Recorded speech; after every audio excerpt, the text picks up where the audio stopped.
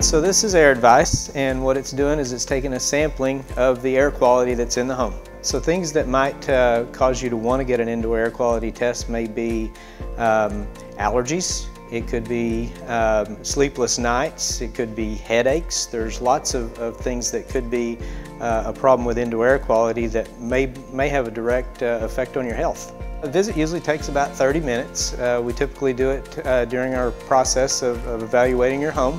Um, if it's a, uh, a, an appointment where we're um, getting a replacement estimate, we can do the, the test while we're uh, going through our questionnaire. If it's a service visit, while our technician is testing all the components, uh, the device can run during that time frame and give us a report by the time we're finished.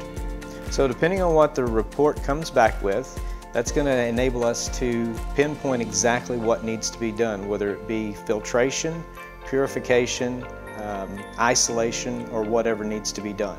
The, the nice thing about the AirAdvice is once we test, make the recommendations, make the repairs, then we can come in with the AirAdvice and retest to make sure that we've uh, addressed all the concerns. Once the concerns are taken care of, then it should never have to be done again.